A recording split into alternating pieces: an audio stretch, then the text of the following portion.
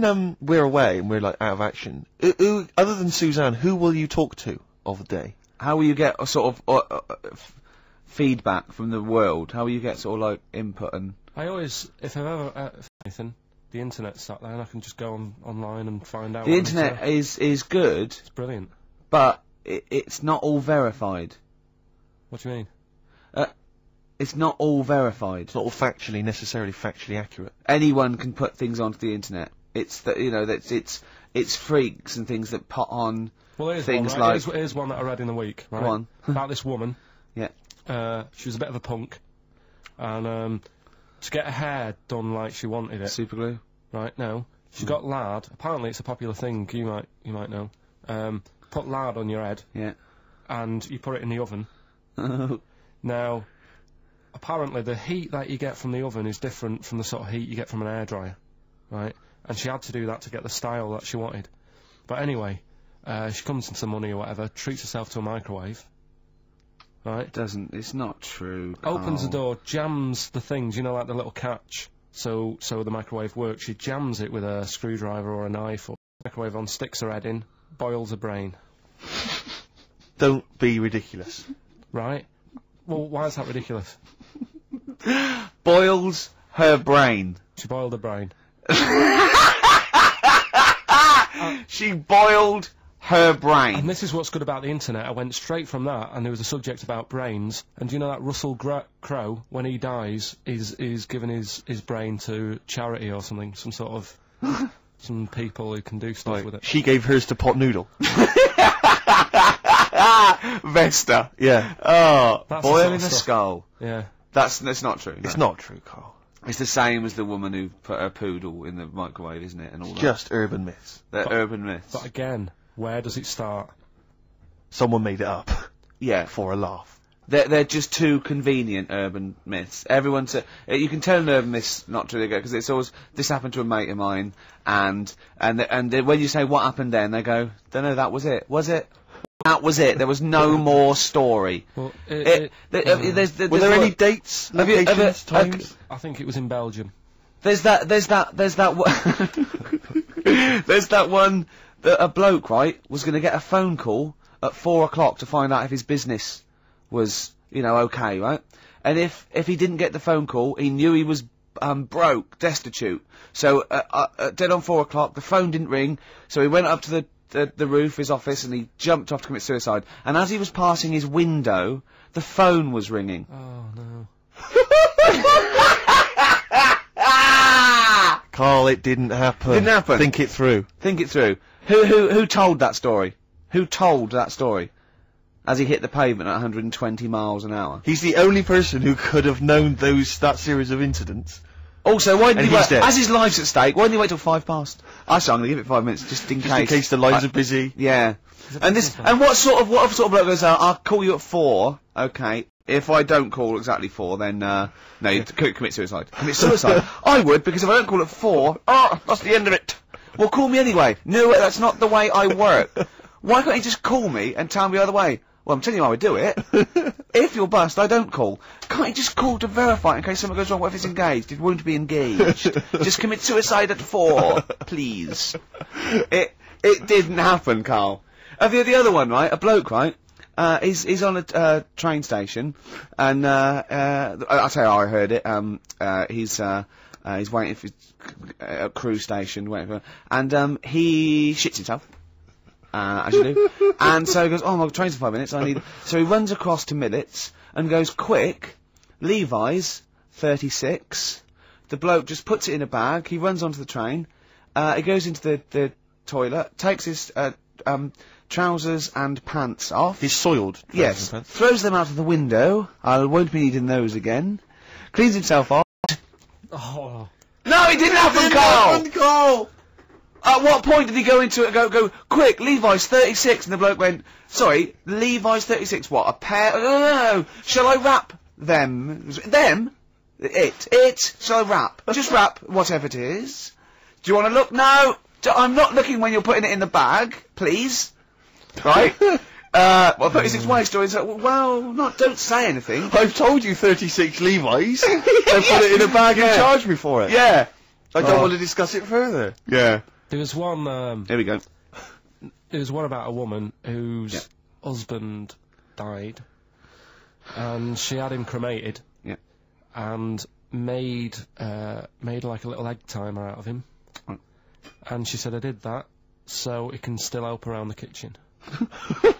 Well, that might be true. That might be a joke. That's quite sweet. that might be That true. is true story again. It was all. No, not again, because the ones I just told weren't. Nor is the boiling the brains in a... Head story, true. Yeah. They're too, they're too convenient. Will They- you be buried or cremated? What? Will you be buried or cremated? I don't know. Uh, by, uh, cremated. I imagine. Like you see. I've, I don't know. It's out of my hands. Yeah, I haven't thought about I've it. not thought it through, and No, uh, be I don't honest. care either way. Have you heard the one So about... we. Sorry. I'm just worried that we're getting into a macabre world now of ashes, boiled heads. So I think we should play some music. Let people just calm down. Levi's. Just think about some of the, the urban myths they've maybe heard. Assess them. Maybe they are absolute bollocks, yeah. and uh, they can move on from it. Well, know, it's just that the death thing, right? Yeah. There was an argument on there about. Do you know that Twilight Zone or whatever it was, Tales of the Unexpected? Oh, yeah. Where the woman got buried alive. Yeah. They were saying how, like, years ago, um, they'd bury people thinking they're dead. Yeah. And they've they've recently like dug coffins up, and then the people who were in the coffin weren't dead. They might have just been like in some sort of deep. s- Lifted the lid off, Yeah. and there's scratch marks Yeah. on the thing, Yeah. and that's pretty scary. And that Makes you think. I mean, I hope they check these days. That's all. Um, I'd like to play a beautiful song now by Cat Stevens. On the flight. How, how did you enjoy Edinburgh, by the way? Anyway, because I saw you up there briefly with you and um, Nick Frost, your new mates, Nick Frost and Simon Pegg. Like, would No. you have, would you have been happier for me? Oh, So I had a great time with yeah. Simon and Nick, and they and they nice people. But he kept Nick? going, he kept going, he kept going to, uh, oi, oi, Nick, tell Ricky that story. And Eth- and Nick and Simon, wow, all it was, right? And their ghost stories. That's he loves them because they believe in ghosts. Oh. It's not, Not just because they're that. great Karl, have blokes with great sense of humour, just because they believe in ghosts. And you go and tell him that. He goes, "How do you explain that?" I was going, "Well, I wasn't there." What was that one you told me, and it was completely wrong about the? It was. uh... Oh yeah, right. It's years ago. Oh yeah. Uh, some some, doc- days, Oh, sure. when Some ghosts roamed the earth. Once upon a time, you mean? yeah. some doctor or something who was into like the way bodies work. Um, they got their head cut off. Who did? The doctor?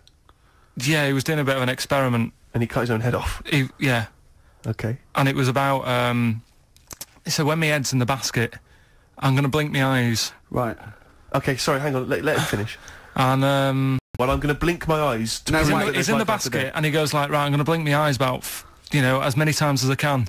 So quick, count them, and and they count, and he got to like 15 before he he, Right. died. Now this is how Karl told me that. Till till Nick Frost explained that, Karl told me like he said, right, well a bloke, right, he had his head cut off, and as and when his head was in the basket, he went, count how many times I can blink.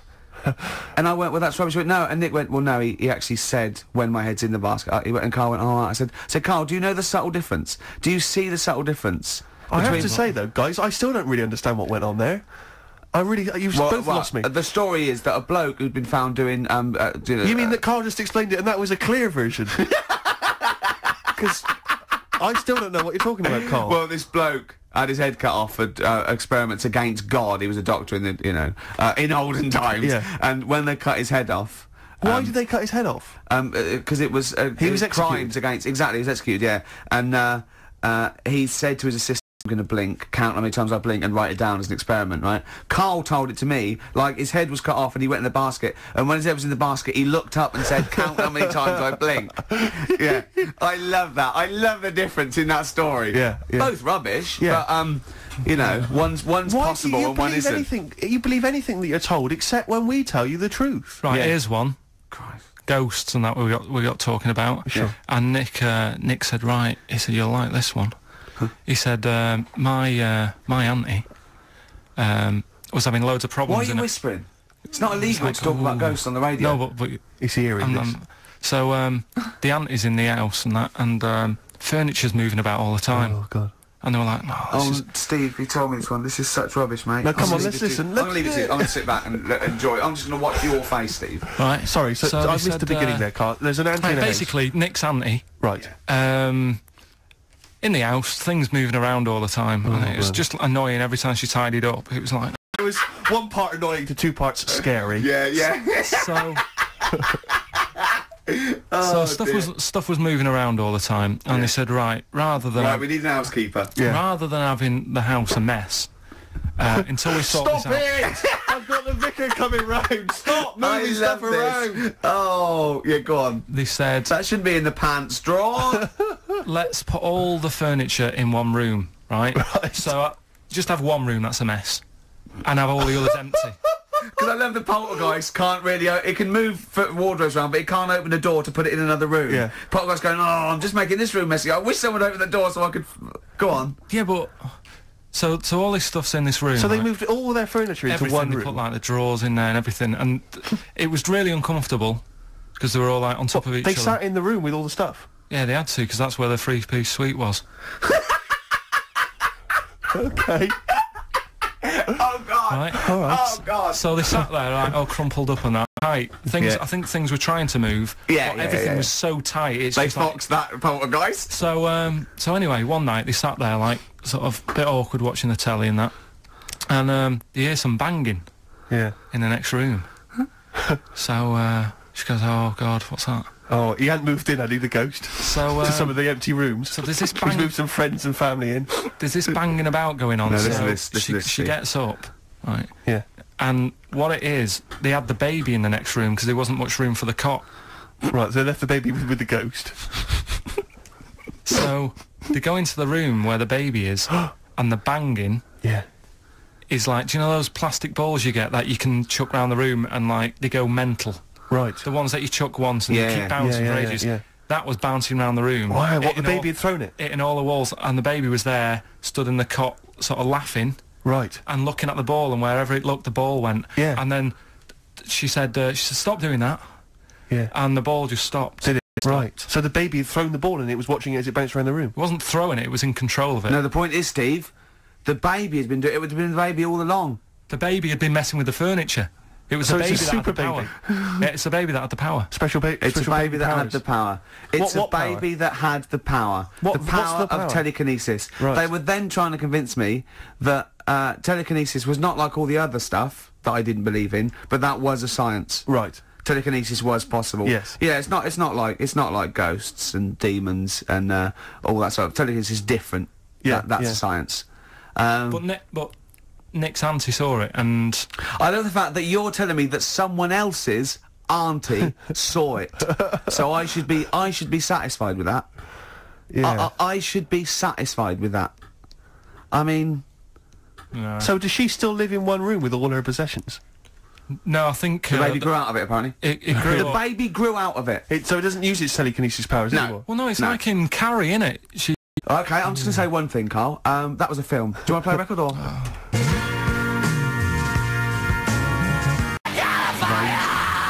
Get free. All right, on XFM absolutely. 104.9. Can I, just tell you a story that Karl told me a couple of weeks ago? Is this another Um, ghost story? Another yeah, spooky it is, story? yeah. Um, uh, I called him out. I was, what are you doing? He said, oh, I said, I've just been reading ghost stories again. He went, he said, right, he said, you don't believe in them, but how do you explain this? Right, I went, go on. He said, uh, I'll tell you as he told me it. He went, um, bloke, right, just sitting at home, just sitting at home, doing, you know, watching telly with his, with his cat. And, uh, the phone rings, and it's a bloke going, uh, oh, uh, is that fire, uh, in your oven okay now? Um 'cause your wife called. And he went, Karl went, well, one, there was no fire in the oven. Two, he wasn't married. I went, right. Go on, he went, well. Then, right, there was a knock at the door and there was two sort of people in sort of well, white coats and they, and they came and said, oh, we've come about that fire. Your wife called us. He went, one, and, and two, I'm not even married. Right? And he said, they saw the cat and they sort of, they looked at the cat. It looks a bit weird at the cat. The cat came out, nothing. Uh, uh, and, uh, he said, and then he went back, it sat down, phone rings, and they said, oh, uh, did they sort out the fire in the oven that your wife told us about? Oh. He went, one, there is no fire in my oven. Two, I haven't got a wife. And Karl went, what do you think of that? I went, that's not it. He went, yeah, I went, That's the end of the I went, story. What? What? What? He went, well, how'd you explain that? I went, explain what? I thought it was going to say a year later we got married, but she died in an oven fire. Right? I thought it was going to be that. And I went, That's what? people winding him up. Yeah, or or or, or um, someone did report a fire oven, and their name was Johnson, and they looked up Johnson. They got the wrong thing. It was the gas board, or, and they sent round to the wrong person, right? You know, he, he went, he went, yeah. I said, I explained it to him. He went, yeah. Why did they look at the cat funny? Oh man alive, Karl. This is really weird, right? I in my house once, right, and the doorbell rang. Yeah. Right, I opened the door, there was no one there. yeah. Right? And then I looked across the street, There's some right, kids and there were some kids running away. Yeah. Now how do you explain that? Yeah. There was another time, right, where like I, I opened the door and there was a back goes, You've ordered pizza. I went, I haven't ordered pizza and I heard my mate upstairs giggling and putting the phone down. Yeah. How do you explain that, Karl? Seriously, what did you? Why did you tell me that story? What did you think? What do you think it was weird about that? The fact that it was three different people. Is this all the information? Is that the entire story? Have you? It did was you, three different people. Did you fall asleep him and not read about the end? A fire that didn't happen. About a wife that didn't exist and a cat that didn't look happy.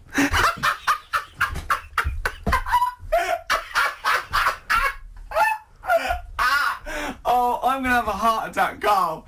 What? I mean, why? Why did they look at the cat funny? Because cats don't don't like um, spirits, do they? What? what? The other blokes were ghosts. Yeah. Yeah. Yeah. Yeah.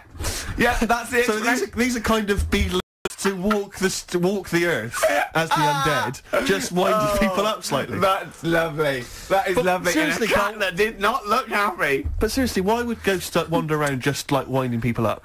Oh. Maybe something did happen there years ago. Hmm. Some fire. Some woman might have died in a house of a fire or something. Yeah. And uh, it sort of all happened again. Bit of Yeah.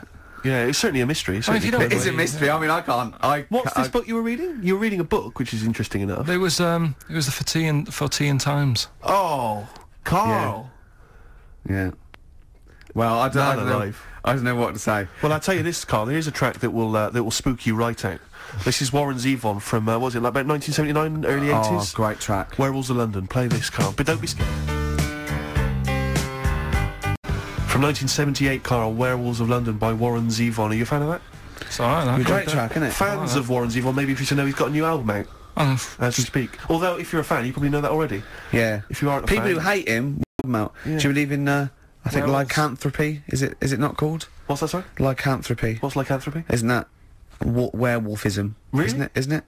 Do you believe in that, Karl? They've, they've they've found stuff, haven't they? They've found kids walking about who are all hairy because they they've sort of grew up with uh, wolves and that. Yeah. So No. You see, two things there. Um, right. Uh, you cannot take on acquired uh, characteristics genetically. So if you grew up with wolves, it wouldn't suddenly make you hairy.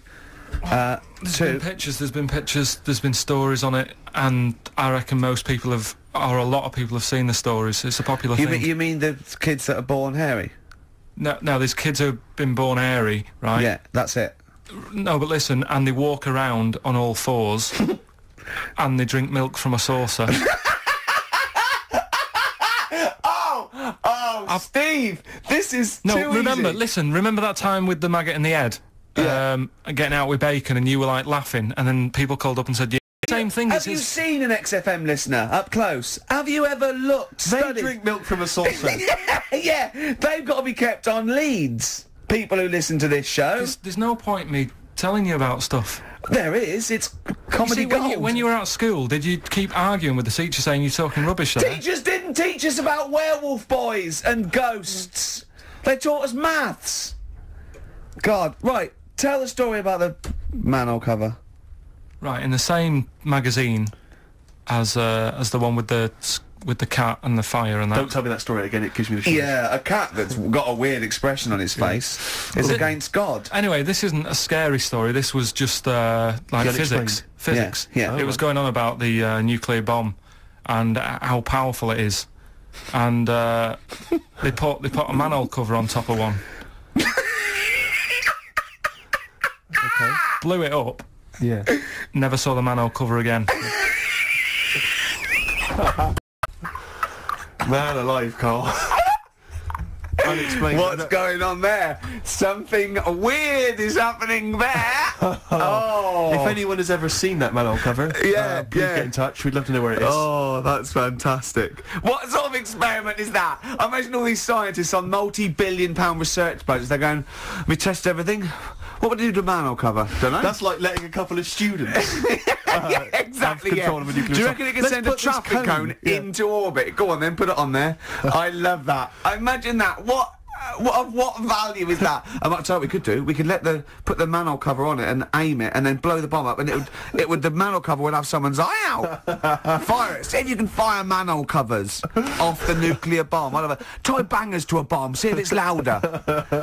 oh God. okay, listen, Karl, play another track, and then afterwards, can we probe your views on um, the week's news? If you want. We'll do a bit of a white van Karl session. um, I, was, I was met Karl a couple of times in our our, our sabbatical, and uh, he uh, said to me once. He said, um, "Oysters." So I said, "Have you ever tried oysters?" I, I, I don't like them, and I went. Uh, he said, "Oh, it's just, just a thing about swallowing them whole." You know. He went, "Well, the reason you have to do that is just they're they're fatally poisonous, and if you bite into them, they kill you." And I went, "Well, of course they don't." He went, "Yeah." I went, well, of, co- of course they wouldn't. what if you chewed on its out? He said, no. I said, well, so you swallow them whole and they're not poisonous. He went, yeah, ah, see. He said, so, he said, when you swallow heroin in a, in a Johnny, he says, that doesn't kill you, does it? that was it. Oh. And then, uh, about a week later, he went, I was wrong about them. Yeah, I went, well, he said, yeah, yeah, yeah. And what did you say? It's if you eat them and then you have some whiskey. They they turn deadly when when whiskey comes into contact with them. Yeah, when when uh, when they've had a drink. in your stomach, they Right. start fighting, they can Yeah, cause get Larry So, drunk so, what, so what are you saying now? Are you saying you don't believe that? Am I saying what? Are you saying you don't believe Look, he that? thinks he's got us here. He thinks he's got us here. Yeah, I don't believe that if you eat an oyster, then drink some whiskey, you die.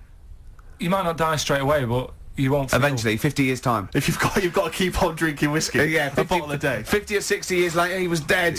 Yeah.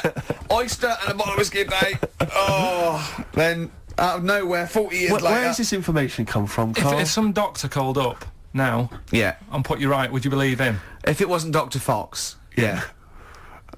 What about the airy, airy lads growing up with the werewolves and that? They didn't grow up They with werewolves. grow up with You've confused They're about three Just a different stories genetic there. mutation where the, you know they were born with uh, very very hirsute. There were a couple of kids, yes, they we didn't grow up with wolves, and you can't kill them with a silver bullet. I mean, you're confusing two things. There were you? some kids who were very, very hairy, yes. Yeah. They're in folklore. There were some kids who grew up with wolves, yes. I don't think there's no such thing as werewolves, Karl. You you Believe me, I saw a documentary on it on the History Channel. You'd have loved it. You you you grew The up with a history of werewolves. You know, you don't flap around, do you, and steal people's jewellery? What was the thing you told me about snails? Uh, have you ever had any um, any post that that looks like it's been opened? Occasionally, yeah, yeah. Right. Well, what it is, it's not your postman having a, A sneaky look. a sneaky look. Problem is, Right. uh, slugs. The problem's slugs. Slugs at night, they like nipping about and that, and it gets a bit cold. And in London, like in the country, they go into the grass, don't they? Right. But in London, it's like, oh, what can we do? and um, they go in letterboxes. Slugs go in letterboxes. Get in letter, letterbox boxes. It's nice and warm in there, uh, dry and what have you. And um, These when, are homeless slugs, aren't they? The ones that have lost their shell. when they're in there, they only found out that they love glue. They and love they've, glue. they've been. Right.